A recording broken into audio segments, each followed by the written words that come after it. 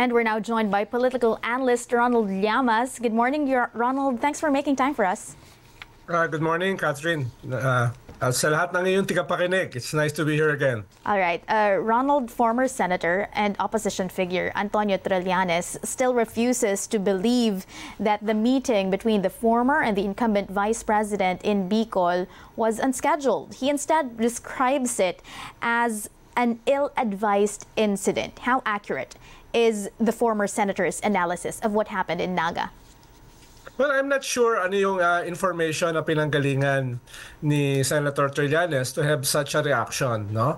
Uh, pero uh, dalawang aspeto ito eh, Katrina. Una, yung paliwanag ni uh, uh, former Vice President Lenny Robredo. I take that at face value eh na ang sabi niya wala naman silang politikang pinag-usapan at uh, historically tinatanggap naman nila lahat ng mga bisita since 1988 whatever political color because this is a religious uh, activity yung Peña Francia kaya uh, I will take that at face value uh, whether uh, ito ay political is another thing dahil uh, alam mo naman sa Philippine politics images are very political eh kaya ako mas titignan ko ito as political from the perspective ni Vice President Sara Duterte.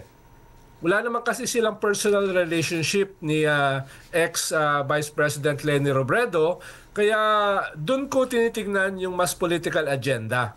Uh, tingin ko yung pagpunta niya ron for the first time sa Peña Francia ay uh, pregnant with meaning. No? Dahil uh, uh, pag uh, ang mga Duterte kasi pag sila ay nako-corner, they try to change the narrative.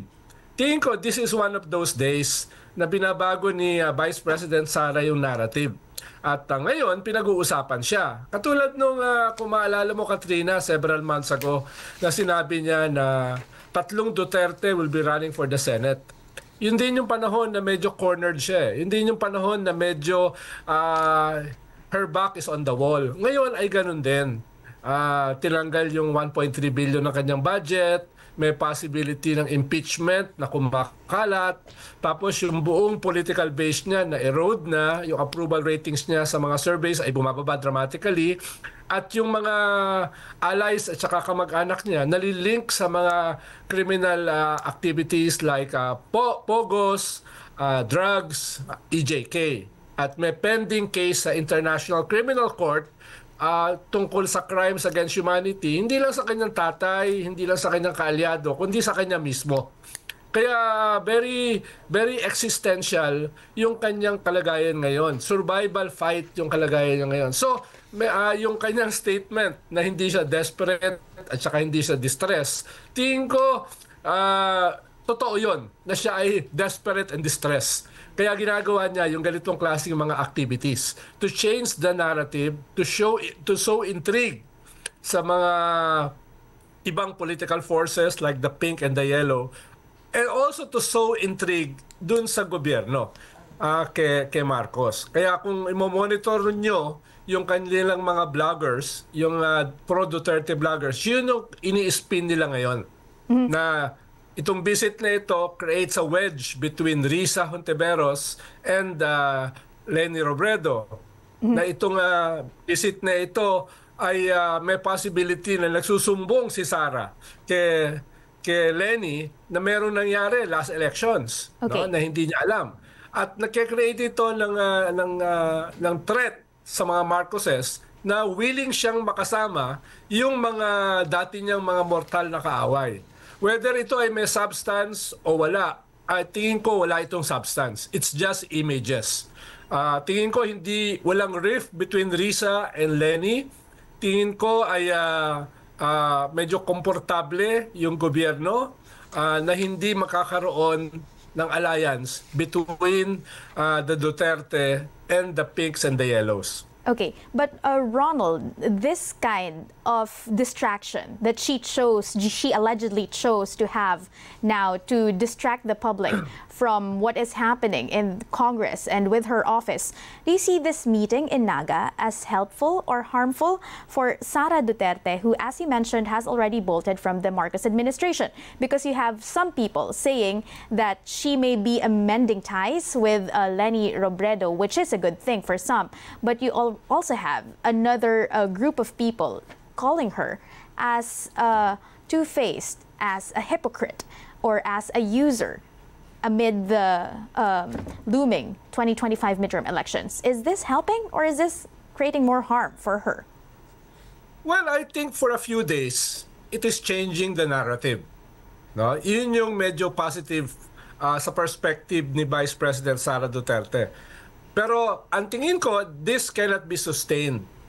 Dahil wala naman siyang substance eh. It's just form, it's just images. Optics. In, ter- in terms of substance, ay hindi sasama sa kanila yung yellow o pink. Specifically si Lenny Robredo at si Senator Risa Ontiveros, the leader of the pink and yellow opposition. No? Kaya uh, hindi ito uh, eventually magiging positive for her. Uh, it just changes the narrative for a few days. Okay, speaking of the pink and yellow opposition, as you worded it there, they are quite divided more so nowadays. Some are saying, are siding with the former vice president, saying it's about having class, not being rude. But you also have the other side of the coin saying that it's wrong because Robredo allowed herself to be used for Duterte's alleged propaganda. What are the implications of this new fissure among Robredo supporters and the opposition in general? Uh, I think that the fissure is not substantial. The division is not real. At saka ang, ang tingin ko, halimbawa si Senator Trillanes, iba naman na yung kanyang political uh, position nowadays. Eh. Hindi na siya uh, practically kasama sa pink at saka sa yellow. Tingin ko ay uh, kailangan irespeto yung kanyang criticism, pero iba na rin yung pinanggagalingan niya na, na political uh, alliance at this point. No? Uh, pero tama yung criticism niya na yung the political image is different. No? Kaya nga, dinidifferentiate ko yung uh, paliwanag ni uh, Lenny Robredo at yung uh, statement ni Sara Duterte. The statement of Sara Duterte is definitely political. The, the explanation of Lenny Robredo na walang political na pinag-usapan, I will take at face value na, na totoo na walang political na pinag-usapan. But then again, Katrina, ang sinasabi ko, the other side has a political objective. No? Kaya yung imagery is very political. Okay, uh, Ronald, uh, we have to pause for a minute. We see some movement coming from uh, Camp Krame in Quezon City right now. There is a convoy moving. We're not sure if Alice Go is already aboard some of that vehicle, but we see an ambulance, several media vehicles, as well as our own team actually uh, following uh, that convoy. We just received word that Alice Go is already en route to the Pasig City Jail, where she will be transferred after the Pasig Regional Trial court ordered for her detention there over cases filed against her connected to human uh, trafficking, if I'm not mistaken. We are in a wait and see mode on whether or not Alice Go will actually complete the booking procedures, the medical procedures, as well as the interviews and all the other uh, documentations needed for her to be finally and formally transferred to the Pasig RTC. As we earlier reported, there are actually uh, the Pasig uh, city jail actually gave assurances that special treatment will not be accorded to the former Bamban Tarlac mayor. She is expected to share a cell with one of Pastor Apollo Kiboloy's colleagues who are who is also detained in that specific facility. The Pasig City uh, jail earlier mentioned that there are no special rooms in their facility and that the facility is quite congested already at this point. Right now, we have no fresh information yet from Alice Goskamp, so we have to wait and see from our correspondents on the ground on what will be uh, the developments in that incident. For now, we will have to go back to our discussion. Thank you so much again, Ronald, for making time for us this morning. Tell us, uh, we are days ahead of the COC filing for the 2025 midterm elections. What political battles would you like to focus on in this year's, uh, uh, in next year's elections? Well, katulad nga na nabanggit na pag-usapan natin kanina, Katrina, no? Uh, may mga iba na nagsasabi, this is a sign na posibleng may coalition yung uh, yung uh, old opposition, the traditional opposition of the pink and the yellow, together with the, the new opposition, the Duterte. I don't see that happening dito sa midterm or even beyond. Kaya uh, I would like to correct yung uh, sinasabi ng iba na itong visit ni Sara kay Lenny is uh, an indication that there's a new political coali- coalition which may happen. Hindi yan mangyayari. I'm almost 100% sure na hindi yan mangyayari. Ikalawa, mahalaga itong midterm because if the Duterte survive the midterm, Halimbawa, walang impeachment, walang ICC, walang arrest based dun sa Quadcom hearings, katulad ng uh, napag-usapan nyo kanina ni uh, Congressman Barbers, ay uh, kung masurvive lang Duterte ito, then the political alignment may shift in their favor after the midterms.